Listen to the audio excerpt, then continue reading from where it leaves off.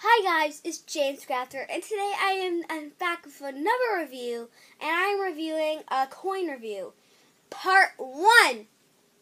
So, this coin review, this coin is all metal, is uh, six seventy six millimeters wide, and it's copper and bronze. It's a King George medal, early 1900s. That's how old it is. It's like a hundred years old. So if you want to look at it, that's it right there. And the back. And I hope you enjoy this video.